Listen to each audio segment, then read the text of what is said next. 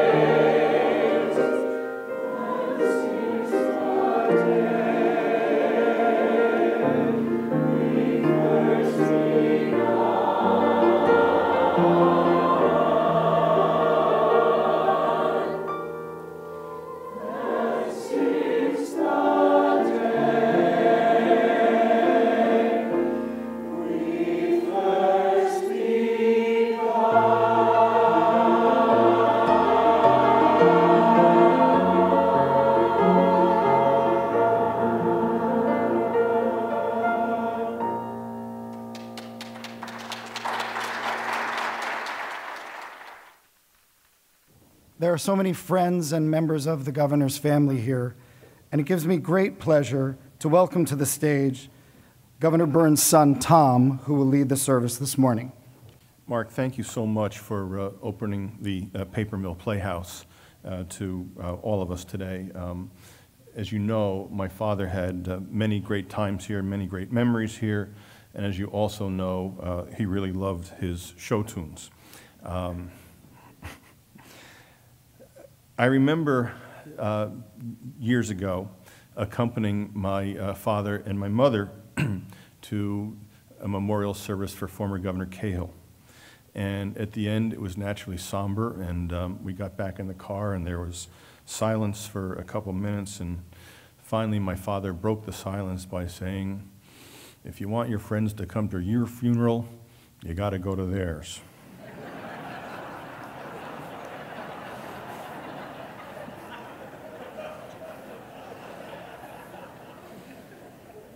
So, on behalf of my father, thank you for being here.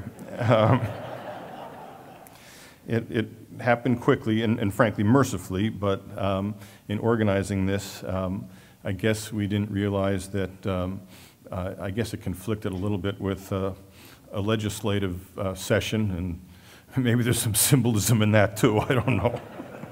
Um, but um, uh, on behalf of, um, of Ruthie and her family, and on behalf of my siblings, Nancy and Tim, and Barbara and Bill, my wife Barbara, and our four kids, and the other grandkids, and the extended family, thank you again for being here. Not only for being here, but thank you also so much for the outpouring of already of so many kind notes and uh, wonderful uh, memories. I thought I knew them all, but I, have learned new stories even in the last couple days, so thank you uh, for all of that.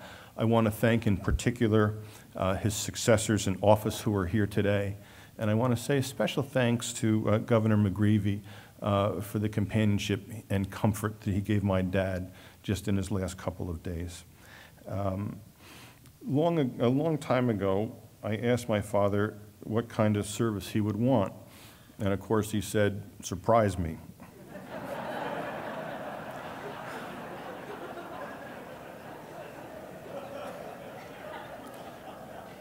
But he, he did make it clear that uh, he did not want a long program and that you know he gets bored easily and so forth. And uh, Ruthie, Ruthie reminded me of that um, just earlier, and I, Ruthie asked me to relate this conversation. Frankly, um, she said, you know, if the program goes on too long, he'll leave.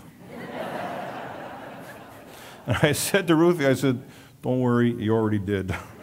so, um, you know, I think he sort of appreciates the, the humor. Um, and we want to, you know, try to make today as much of a, a, a celebration of his life and um, um, share the, you know, the happy memories. Um, there is more to say than we can possibly do today. And so, as I've told some of you, um, um, I will uh, try to organize uh, some kind of a retrospective on his life and times in his administration, probably on the Princeton campus, hopefully in early April, maybe around his birthday, April Fool's Day, which we tried to keep a secret when he was in office, um, so that people who couldn't get here today and any of you um, can hear from some others, and we'll conclude it with a reception so that you can catch up with old friends, mingle, exchange uh, memories, and so on. Um, so I, I, I tried to um, uh, greet as many of you as I could uh, earlier today without holding up the line. Um, so again, I thank you, and I'm glad I did it then because I can't see any of you now. Um, so what I want to do now quickly is just uh, introduce the program and, and frankly the speakers who, who really need no introduction, um, beginning with uh, Joseph Cardinal uh, Tobin, who I have to say I believe is simply a, a great gift to the state of New Jersey.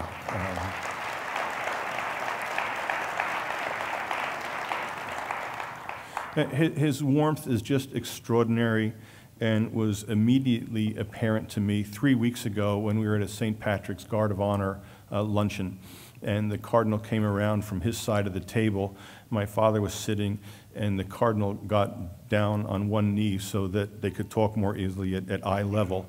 And I couldn't help but think to myself, if my father were in any better shape, the postures would have been reversed. uh, so thank you for being here. Um, then uh, we'll hear from um, Governor Christie. Um, And I, I know that uh, my dad and Governor Christie uh, identified with each other and, and got along very, very well uh, personally. I mean, um, maybe having grown up in adjacent towns uh, up here um, as prosecutors, and I suppose, uh, and just as personalities that meshed. And um, um, I, I think just the common experience that, you know, no, maybe nobody else can relate going through the good times and, and maybe more importantly, understanding the bad times that a governor goes through, which happily you've all forgotten in my father's case. Um, and uh, so, again, thank you, Governor, for, uh, for being with us today. And then, of course, uh, Governor Kean um, will speak. Um, and, uh, Governor, um, as you know, he loves so much about your friendship. Uh, I don't know what else to say except that I guess we should call you two perfect together. Uh, uh, he loved doing the Ledger column with you, um, both the uh, Ledger and on, um, on NJN, uh, so much that he probably doesn't even mind that you get the last word. um, and then um, the, the choir will be back up, and then we'll hear from uh, Ginny Littell. And again, Ginny, thank you for your friendship to my dad and to Ruthie and to me over all the years. Uh, you've been a great friend to them. And a little secret, uh, Ginny and I were um, opposing party chairs at the same time way back when. And even then, we were really pretty good buddies and remain so today. So thank you, Ginny. Um, so, and then I'll come back up and um, um, return with some remembrances of my own, and we'll close with uh, offerings from Father Jim Ferry of Our Lady of Lourdes, where the, the church where my father grew up, and, and Father uh, Ferry was uh, ministered wonderfully to my father over uh, these many years. And then a closing prayer from uh, Sister Pat Cody, who has been a family friend and you know a wonderful presence in so many ways in the state of New Jersey. Um, for uh, so many years. And so um, I don't need to come back up and introduce um, uh, everyone all at once. And so uh, Cardinal Tobin. Uh, again, thank you. Ruthie, Tom, and the governor's family, Governor Christie, Governor-elect Murphy, all the former governors. I'm not going to name them because it could be misunderstood that I was interjecting the litany of the saints.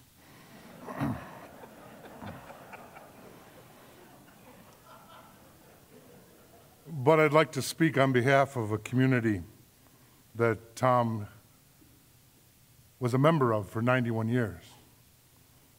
When one enters a new community, as I did in New Jersey just a year ago, one searches for the figures whose intellect and industry have shaped the landscape, those whose indelible contributions have enriched the lives of generations upon generations. Often you have to look at monuments or texts. But in rare and valuable instances, these men and women remain among us. They're living embodiments of excellence, those whom we rightly appreciate before they leave us. Brendan Byrne was such a man.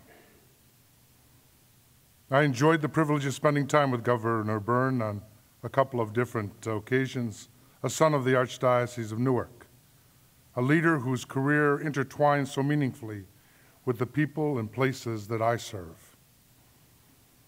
In reflecting on the man I met and on his far reaching achievements, I focus on two words character and justice. Now, I suppose you could say that Governor Byrne was a character. He crafted his own style that defies duplication. He charmed with a magnificent mind and a keen sense of humor. He knew the definition of blarney, the ability to tell someone to go to there in such a way they'll enjoy the trip. Disarming and self deprecating, New Jersey loved him most of the time. The periods when its citizens used all five fingers to salute him New Jersey loved him for his authenticity and for his honesty. Far more than just a character. Brendan Byrne was a man anchored and impelled by extraordinary character. a character defined by selflessness, service, loyalty, and courage. Years later, his state would require his character to lead it from confusion to clarity, from doubt to decency. Now, many tributes can be offered to Governor Byrne. I recall the most compelling. He couldn't be bought. For Catholics, his example calls to mind St. Thomas More, an attorney, a public servant, with sharp intelligence and a terrific wit, a man for all seasons who refused to sacrifice his ideals on the altar of ambition and expediency. And think about it aren't we all better for those kind of leaders? Don't we aspire to be better versions of ourselves because of the uncompromising individuals who entered public life and were searched by its harsh and unforgiving light? When we trace the imprint Governor Byrne left on New Jersey, we of course account for his many accomplishments, from among which surfaces the second word justice.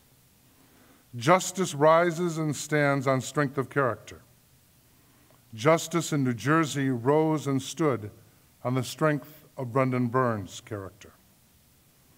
As prosecutor and later a member of the judiciary, he distinguished himself as a practitioner of the law and a promoter of justice. Brendan Byrne's record also reveals a man whose judgment was formed by the tradition of his faith community, leading him to advocate for justice that is intolerant of inequality and exploitation, justice that promotes opportunity for and protection of the vulnerable, the marginalized, the voiceless, justice that recognizes the beauty of creation and our responsibility to care for our common home. Without question, we live in a more just state because of Brendan Byrne's judgment and talent. At ceremonies such as this, we often describe someone as a person of faith. I believe that Brendan could not have reached the heights he did without that peculiar vision of the heart that's called faith. Equally as important, he is the man in whom New Jersey placed its faith. He restored trust in the notion we deserve governance by the very best among us. New Jersey kept its faith in Brendan Byrne long after he left the governor's office, holding him up as an exemplar of what we truly are and what we could be. We live in a state that was forged by his character we continue to strive towards a state that is lighted by his vision. And we pray. God, you gave us Brendan as a gift without ever losing him yourself. Now, as we return him to you as a gift, may, may we not lose him until we join him around our table in heaven. Amen. As I stand here this morning, I can't help but recall how many times the governor and I spoke about this day. I, he was a little bit obsessed with it. Um, and I'll give you a few examples. He, he told me when I became governor a couple of things to remember, and one of them was he said, If I die while you're governor, remember no more than five minutes.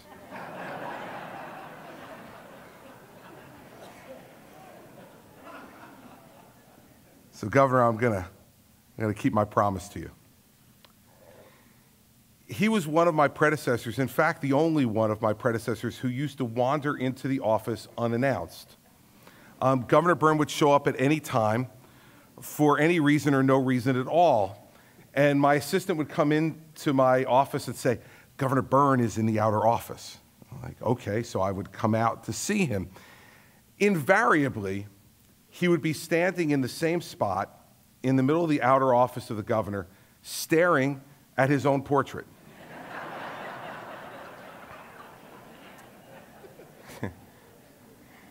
He would, of course, first say to me, hello, and then he would say, it's the best one, isn't it? and then Governor Kean, he would invariably say to me, that damn Kean, he copied everything I did, including getting the same artist that I did. he said he did, but it's not as good as mine. then he would say to me to get back to today, he'd say, You know why I always start with the portrait? I said, No, Governor, I don't know why you always start with the portrait. He goes, I want to make sure you haven't moved it.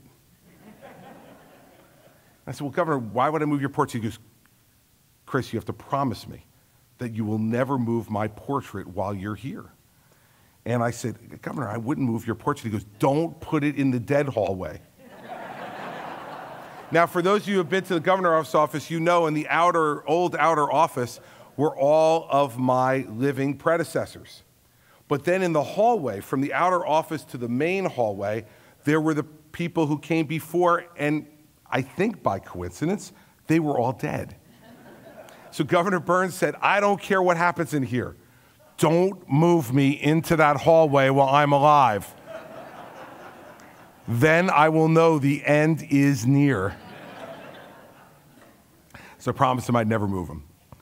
And as we sit here today in the new space that we occupy temporarily for the next number of years, um, he is with the living. And I think that's only appropriate because his life was one of extraordinary joy. Yes, there were problems and challenges and difficulties that all of us have in our lives, both in our personal lives and in our political lives. But with Governor Byrne, there was always a sense of great joy. Joy in the day that he was experiencing. And I saw this most particularly um, early on when I went to a meeting of the League of Municipalities when I had just been elected governor. And my old county, Morris County, had invited me to come in and speak at their lunch. And so I was getting ready to stand up. And as I did, who walked into the Morris County lunch but Brendan Byrne? And he walked in literally weighed down in both arms with free giveaways. He had literally stopped at every place he could stop, and whatever they were giving away, he took. And so I had an empty seat next to me as I was getting ready to speak, and he came over. I mean, in, in, someone else was speaking. He didn't care. He walked right through the middle of the room, came right to the front of the room where I was sitting, sitting and saw an empty seat next to me, and sat down next to me, and then kind of dropped all this stuff off either arm onto the floor. And I said, what, all, what is all that stuff? And he said, I have no idea, but there's got to be something good in there. And I started laughing. He goes, Wait till you're out. He said, You'll take the free stuff too.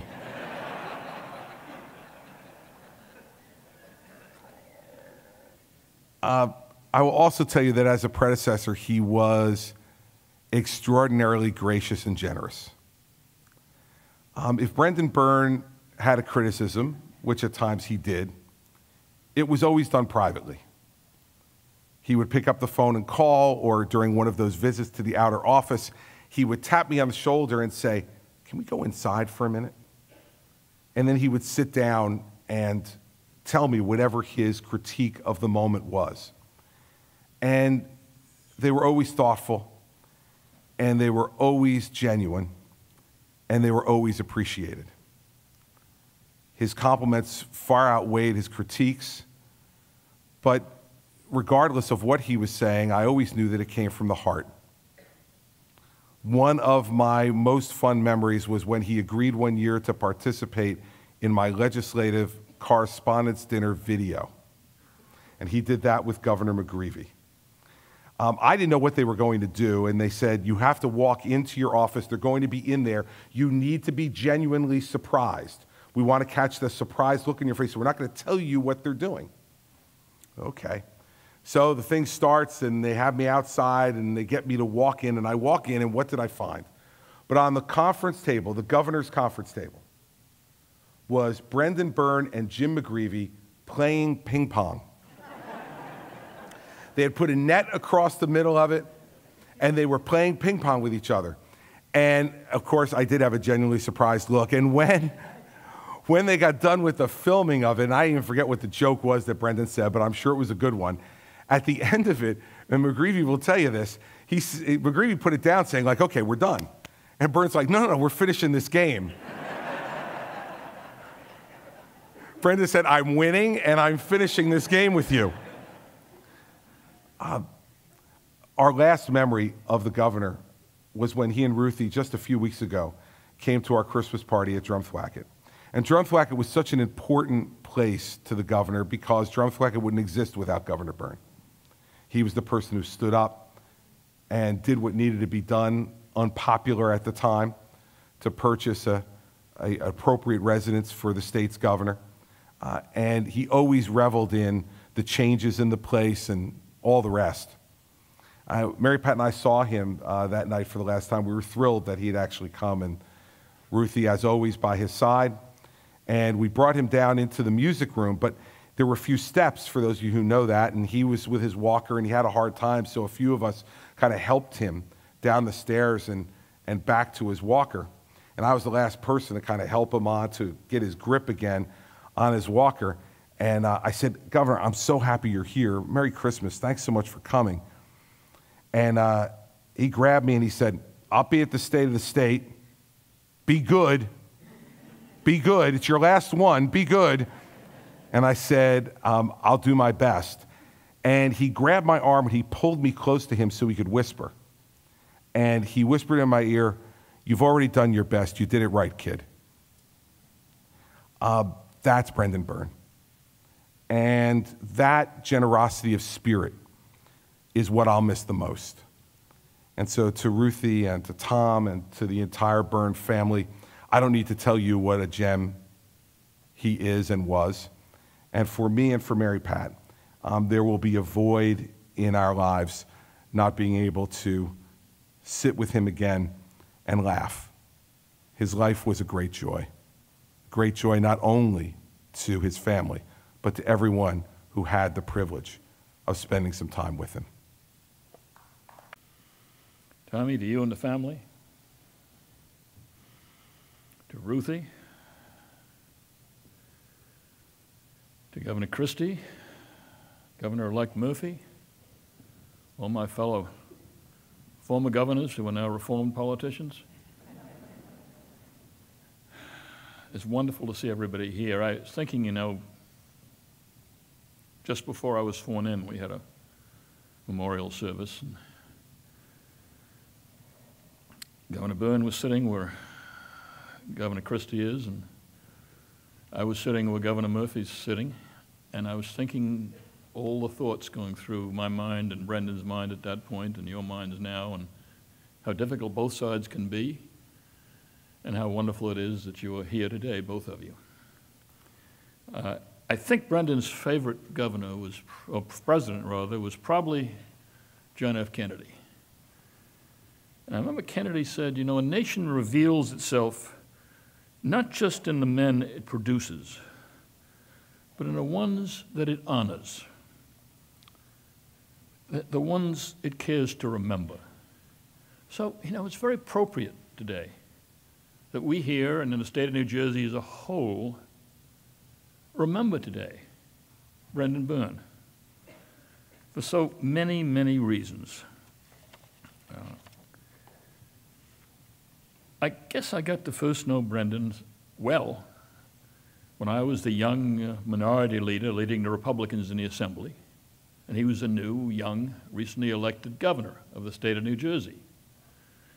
And I was the Republican, and he was the Democrat, and I led my Assembly people, and he led the state. And we had our differences, as you might expect. And we started arguing about a few things. But I don't think either of us could ever have expected that that argument would last for 40 years.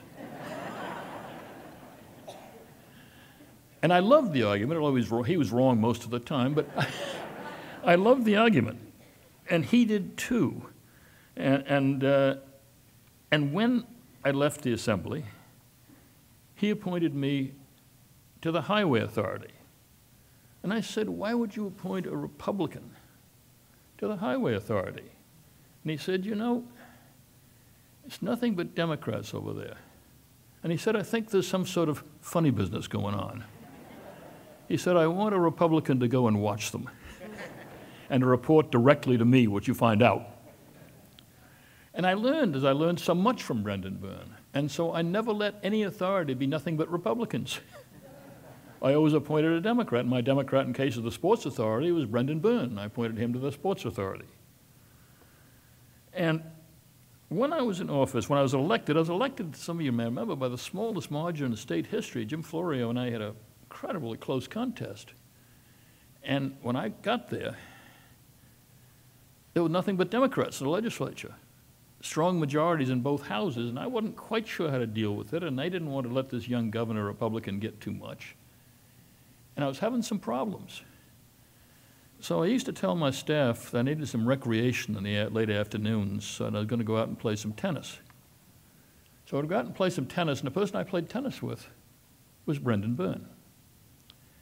And what the staff didn't know, and neither party knew, was that after those tennis matches, we would sit down over a yeah, ginger ale, uh, but we would talk, and he would tell me, this is what I'd recommend. This is how you ought to handle a state senator. This is how you handle a state assemblyman. This is where he lives. This is what you ought to do. And I learned, and I learned. And his friendship at that time, unbeknown to anybody, it's one of the first times I ever told that story, was very, very helpful to me to getting my feet in the ground as governor and being able to work with, with, with that legislature. Uh, you know, we argued a lot, but always with civility. Because I not only respected him, I liked him. I liked him very much. And a, a, a friendship deepened. And soon, um, he was, by the way, you know, when we first got to know each other, he was very unpopular those days. And like a lot of us, you know, who were governors, he used to blame the press. I remember him saying, you know, if I were to leave the governor's office tomorrow and walk across the Delaware, the headline in the paper the next day would be Brendan Byrne cannot swim.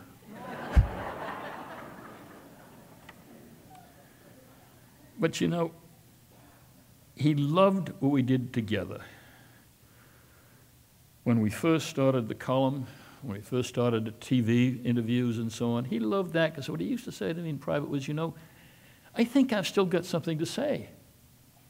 I think I still want to be a part of things. I think I still want to contribute. And this gives me the ability. Said I couldn't contribute, I wouldn't feel I was any use anymore. And so he loved those opportunities. Well, I'll tell you, when Ruthie put both of us on the road and I was Brendan's straight man, following Brendan to the podium was not something I was fond of doing for obvious reasons. And he knew everything. He knew everything about so many subjects you know, I, I think you, some of you remember, you've talked about him knowing, he and Ruthie between them knew every song on Broadway, every show. They could hum it in the back of the car as we were going in, going in from the 30s, 40s, 50s, no matter when it was. He could recite poetry at great length. Uh, he loved sports. There's, there's, nothing much fun as having, having lunch with he and Yogi Berra. Because he would ask Yogi, do you remember that game in 1951? Did you really make that call? And the two of them would talk of the most intimate details about individual baseball games. And he loved history. He loved history. We shared that in common. And I remember he, he had a lot, of, a lot of favorite characters in history. One of them was William Franklin. William Franklin, as probably you don't know this, was the first governor of New Jersey. He was the illegitimate son of Benjamin Franklin. So he was the first governor of New Jersey. And Brendan used to say, you know, he set a precedent that we all follow. You shouldn't really run for governor of New Jersey unless you're already a bastard.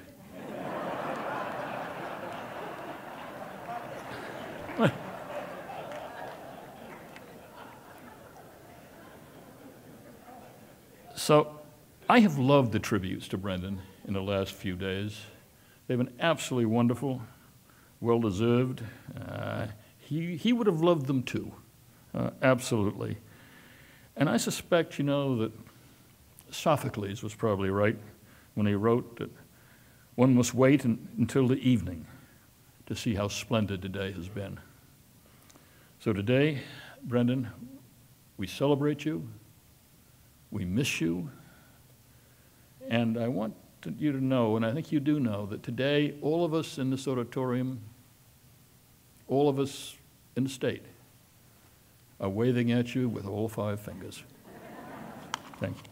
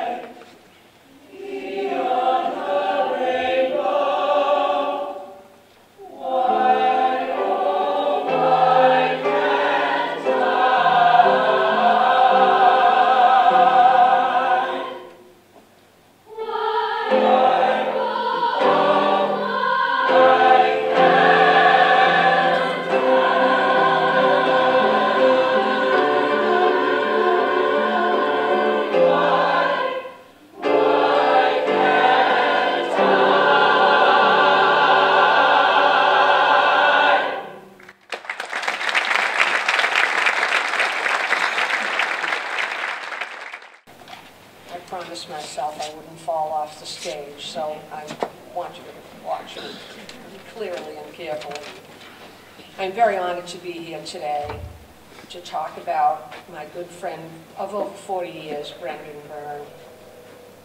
As many of you know, I married a politician, Bob Littell, and I gave birth to one, Allison McHose. And I'm a bit political myself. So it always amuses me when people say that they're not political, when everything in life is political.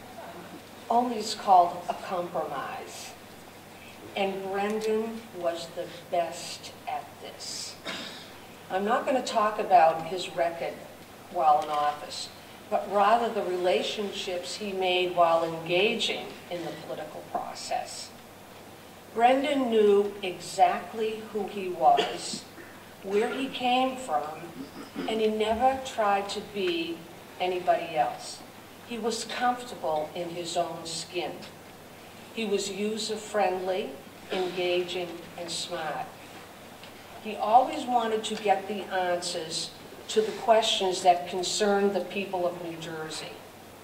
Brendan always put people around him that felt, that he felt enhanced the office and made a very strong team.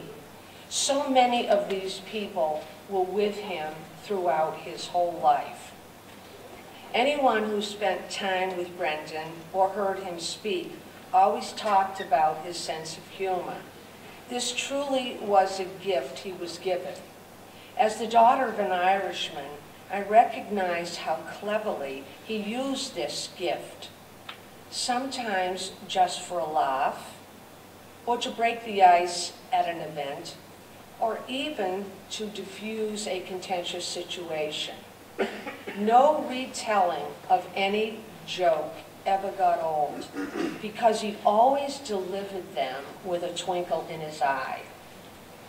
The Littells and the Byrnes worked together while playing for different political teams, and while not always agreeing during Brendan's eight years as governor, Bob and, and Brendan's friendship endured for their whole lifetime.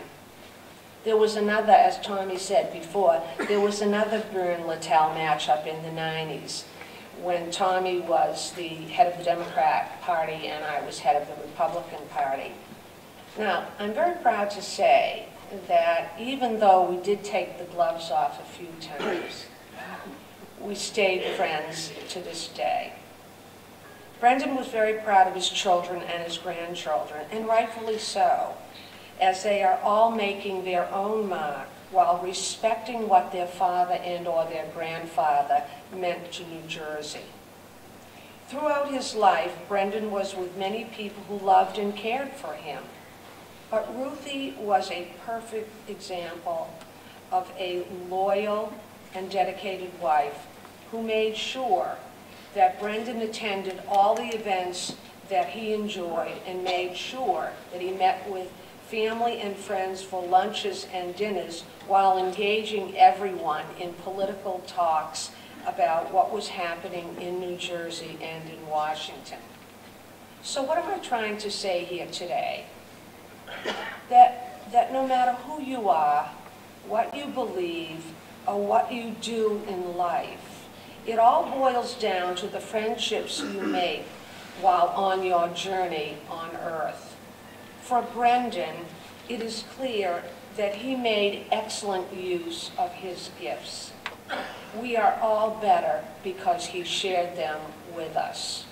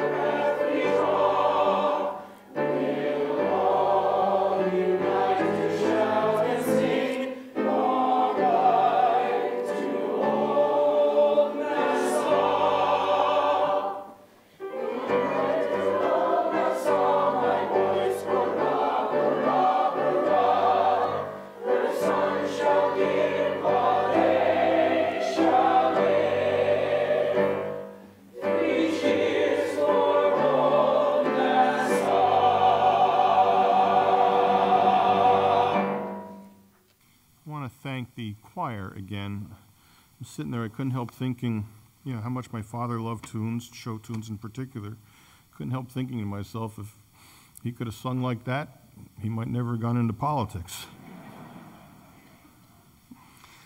Uh, as I said before, um, my dad would really want this day to be much more of a celebration than a day of mourning. He certainly enjoyed being a public personality and would want the focus on his wit and his work uh, in behalf of the state he loved. But I feel the need to tie that, at least loosely, to the religious precepts of faith, hope, and charity. My father was a person of faith who tried to use his God given talents to work in public service. His values were centered on that and certainly not on money. When we were kids, he would ask us, What would I have that I don't have now if I had a million dollars? And being impertinent kids, we would say, A million dollars. But the values and the perspective and the understanding of deeper meaning uh, certainly stuck. And he certainly did deserve the moniker of the man who couldn't be bought. It extended to the littlest of things. When I was in elementary school, he would take a bunch of us to Yankee Stadium. Uh, we'd take the A train to the D train. One of my friends reminded me that if he tried to save 15 cents by ducking under the turnstile, he was immediately corrected. The point was there was no first step down a slippery slope. But then I thought to myself, unless perhaps instead of cash, you knew to offer him Mallomars or Chips Ahoy or Oreos or Tates, I just wonder how differently things would have played out. When I was a kid, we went to church every Sunday, but he couldn't help uh, let his questioning legal mind get in the way of faith at times. Uh, one of the stories I remember is we were at the North Ward Center uh, together one day, and um, then um, Archbishop Myers was there, and my father got up on the uh, steps the, there and re uh, related a purported conversation that he had with the bishop where he said, Do you believe everything literally that's in the Bible? And uh, for instance, do you believe that Jonah was really in the belly of a whale for three days? And the bishop supposedly responded, When I get to the other side, I'll ask him. My father said, What if he isn't there? And the bishop said, Then you ask him.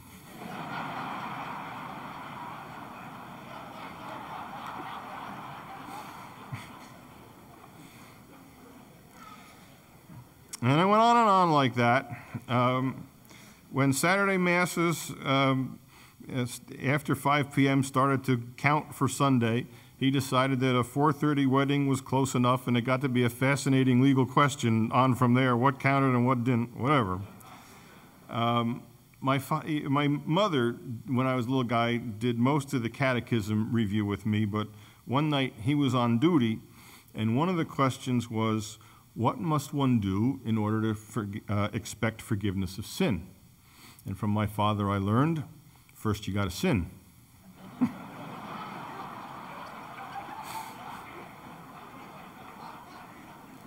well, hopefully the good Lord thinks it's as funny as you all do, and hopefully he weighs my father in, as you've heard, with all five fingers. uh, just like um, my grandfather, um, my father could tell all the old Irish jokes, and there's lots of them, but he would tell me about uh, Uncle Willie, who drank so much that they had to get a liquor license to bury him. he would tell me a lot of jokes featured Patty and Bridget, of course, and a lot of them I can't tell, but uh, the one I can, I think, is about Patty was out at the bar and he staggers home and he's so drunk that as Bridget opens the front door, he, he slides against the door and falls uh, flat on his face. And Bridget says, Do you care to explain yourself? And Patty looks up at her and says, I have no prepared remarks, but I'd be happy to take questions from the floor.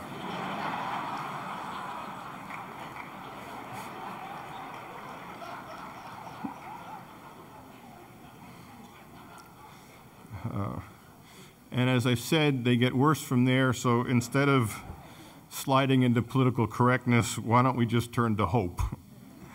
Uh, my father's career was a beacon of hope in so many ways. Uh, many of you remember him as an accomplished and entertaining public speaker. But those who know, knew him early on or who attended his first campaign speech at Marist High School know differently. In his early days, he referred to himself as the oratorical equivalent of a blocked punt. Few back then disagreed.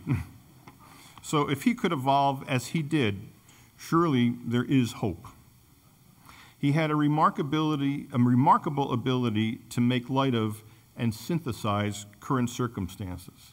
So I remember another time being at the North Ward Center, and it was soon after I became uh, Democratic State Chairman.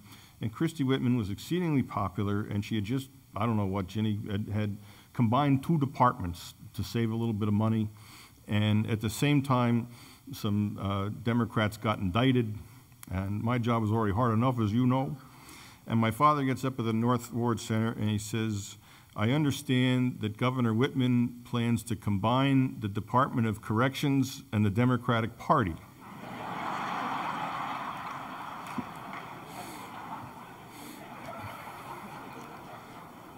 he said, It may not save any money, but it ought to save a little time.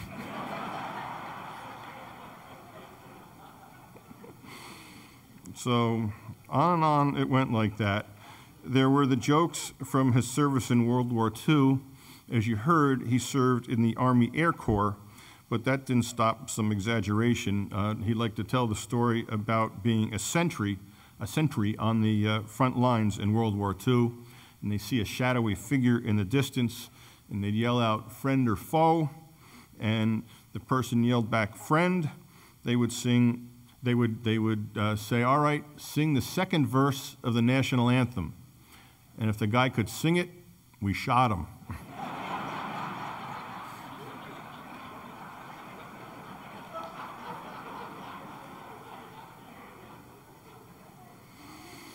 Or more recently, he'd say, Remember those pills they gave us in World War II to keep us from getting too interested in the French girls? They're starting to work. And as I've said before, there were the politically incorrect, the off color ones, but I got one that's probably rated PG, I hope. Um, some of you remember how he got up at a legislative correspondents dinner years ago and proposed that we balance the budget with a new tax on Viagra. As he put it, instead of complaining, you'd have guys on the golf course bragging to each other about how much tax they paid.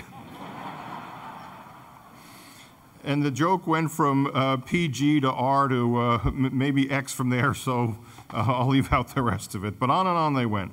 So for a guy that began by mumbling and fumbling, he does indeed stand as a beacon of hope. And he was a beacon of hope in more significant ways, too. He wanted every kid in the state to have that hope that comes from a good education. And you know, I think he'd be thrilled if he had known that the first Rhodes Scholar ever to come out of the Newark public school system was just announced. He would have loved it.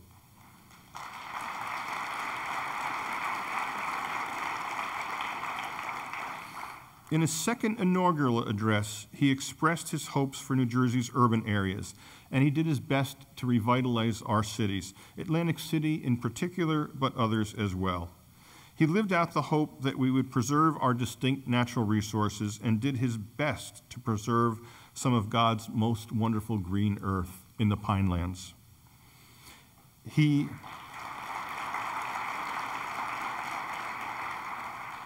And he said to me on a number of occasions of, of all the things he, that he felt were his accomplishments, he, he, he was, I think, the most proud of that. Um, he advanced the hope that politics could be clean and decent.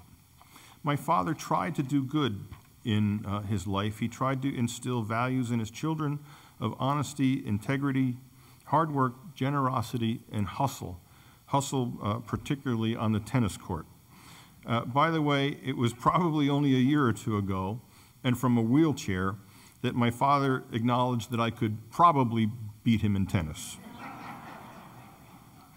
he tried to teach us certain lessons about life to make the point that things in life aren't necessarily as they appear, he would read me the poem Richard Cory. And when I was a little kid, on a cold, uh, wintry evening, he would read Edgar Allan Poe's poem, The Raven. I can't really tie that one to charity. I think it was just to scare me, but it stands out in my mind even to this day. He tried to use public office to do good for others, and he was fond of quoting from John Kennedy's inaugural address that God's work here on earth must truly be our own. He did his utmost to bring quality people into government, and he was really proud of his appointments to the, the cabinet uh, to the judiciary, and to so many other uh, positions. I'm not going to get into uh, stuff about taxes, except to say, heck, you know, even the Christmas story wouldn't be the same without taxes. And so, if you define charity as working to improve the lot of others, he did a lot. There's not that much talk anymore about lifeline utility rates, but that was one more thing. He combined uh, humor and charity at times. There was a stretch when Princeton hadn't beaten Yale in football in 15 years. And I think it was his last year in office when uh, they finally did. And so the marching band went crazy. They marched up and down Nassau Street, and they really tied up traffic to the point where the local cops gave the band leader whatever summons it was was enough that he wouldn't have been able to um, go to law school. And then one day the kid, without ever seeking it, gets a surprise in the mail an executive pardon. And you know, I, I, couldn't help but notice uh, in the New York Times, my father's obituary was on the top of one page, and the uh, Cozza, the coach of that Yale football team, was right underneath. So I guess they're still kidding around about that particular day. But he leaves us with one final dilemma, as you all know, uh, where he should be buried. And Ruthie and I have talked, and we're thinking about putting some of his ashes somewhere in Hudson County. Uh, but whatever, uh, he'll remain active in politics so long as people in public life want a role model for honesty, integrity, competence, and trying to do what's right without regard for short term political consequence. And he will remain in our hearts as a good father, a faithful friend, a servant of God's people, and thus of God. On one of our last visits, he liked to recite and he was good at it. And so on one of our last visits, he recited the eulogy for Frank Skeffington in The Last Hurrah. To have lived a long life, to have left the lot of many of those around you a little better than it once was, to have been genuinely loved by a great many people, and to have died in God's good grace is no mean thing to have happened to any man. And that brought a tear to his eye and sums up well how he'd want to be remembered. Thank you. Thank you, Tom, for your friendship, the friendship of the whole Byrne family, Ruthie Byrne, over the years, and the friendship of Brendan to our community, whom we will miss very much. It has been a joy to minister to him, to know him, um, to be in the governor's office, in the governor's presence so many times. In this new year and season of peace and salvation, remember these words from the book of Numbers, chapter 6, verse 22. The Lord bless you and keep you. The Lord make his face to shine upon you and be gracious to you. The Lord look upon you with his kindness and give you peace. Amen. Good afternoon. You know, only Brendan Byrne, a Democrat since birth, would have such three well known speakers Governor Christie, Governor Kean, and Ginny Littell, lifelong Republicans, and a little old gray haired nun who comes from a Democratic family speak at his funeral service. I've noted the presence of some Hudson County Democrats today, and I understand they spoke to my brother Dick about registering Brendan for Hudson County. But I've also noted that there are many attorneys and a former U.S. attorney and judges and Supreme Court justices of New Jersey, so they might want to consider recusing themselves from the case. But probably what many of you do not know is that the Byrne Cody families go back for generations. In fact, my grandfather, Papa Cody, actually dated Brendan Byrne's mother, Genevieve. And while love was not in the air, both family trees produced a governor. But could you imagine if they actually had married? There would have been two governors in the same family. But seriously, Brendan Byrne was a bridge builder. He lived his life personally and professionally with thoughts and actions for the next generation and the next and the next. His legacy as a public servant, one who fought for what he felt was right for our state and for our future, lives on. The Bridge Builder by Will Allen Dromgoole is a poem that was found among Brendan Byrne's collection. The Bridge Builder. An old man going a lone highway came at the evening, gold, cold and gray, to a chasm vast and deep and wide, through which was flowing a sullen tide. The old man crossed in the twilight dim. That sullen stream had no fears for him. But he turned when he reached the other side and built a bridge to span the tide. Old man, said a pilgrim near, you are wasting strength in building here. Your journey will end with the ending day. You never again must pass this way.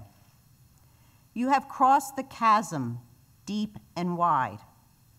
Why build you the bridge at the even tide? The builder lifted his old gray head. Good friend, in the path I have come, he said, there followed after me today a youth whose feet must pass this way. This chasm has been naught to me. To that fair haired youth may a pitfall be. He too must cross in the twilight dim. Good friend, I am building the bridge for him. Brendan, rest in peace, my good friend. Amen. Um, I've pretty much said all I want to say, um, but it says Tom Byrne closes, so I'll close. Um, um, my, my father um, said to me, you know, not that long ago, he said, um, I've had a, a, a good life, I'm ready to go, I just don't want to be there when it happens. and I thought to myself, you know, he, he slipped away um, pretty quickly and pretty mercifully, and in that sense, he really got his last wish too. Um, and so he would have loved this service. He would have loved all of you being here. I thank you again, and we're going to close with music that he loved.